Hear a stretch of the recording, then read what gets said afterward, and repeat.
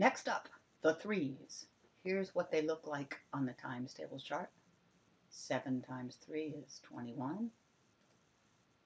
Here's what they look like on the numbers chart. Hmm. Looks a lot like the nines times tables, doesn't it? All the multiples of 9 are also multiples of 3. How's that work? Every group of 9 is exactly three groups of 3. We can write it in some different ways. 3 to the second power equals 9. 3 squared is 9. For the multiplication facts, we only need to remember 3 times 3 equals 9.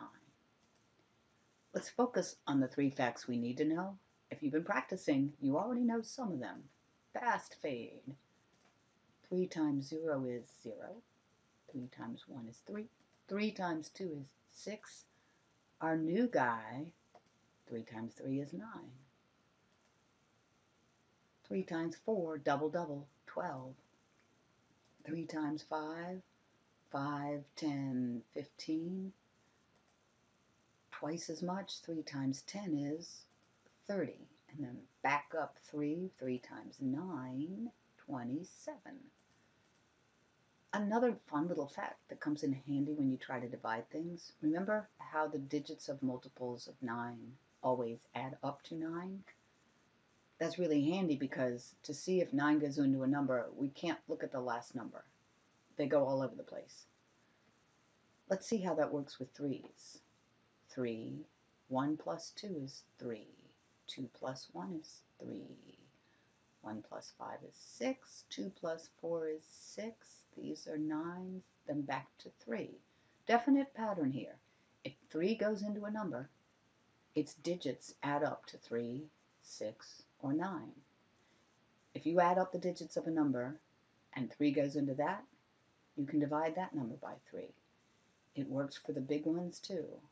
3 plus 3 is 6, 4 plus 2 is 6. 51 looks like nothing goes into that, but 5 plus 1 equals 6. 51 divided by 3, 17 groups, none left over. But we don't need to remember that. We need to remember 3 times 3 is 9, 3 times 7 is 21.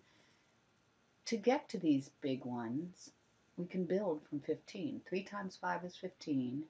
We can count up, find a rhythm. 16, 17, 18, 19, 20, 21, 22, 23, 24. 3 times 6 is 18. 3 times 7 is 21. 3 times 8 is 24. And you can put them on paper and say them. 3 times 3 is 9. Cover them up. Them again. 3 times 7 is 21. It's worth taking the time to do it. Work hard now. Work easy later. Next up, the sixes. Here's the legal stuff.